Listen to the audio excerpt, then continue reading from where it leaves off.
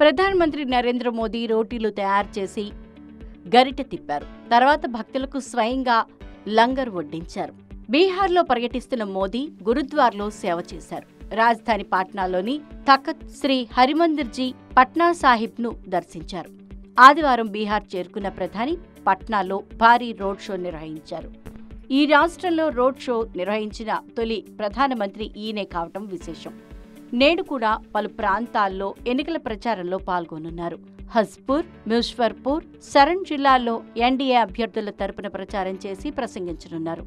ఇక వారణాసి నుంచి పోటీ చేస్తున్న ప్రధాని మంగళవారం నామినేషన్ వేయనున్నారు.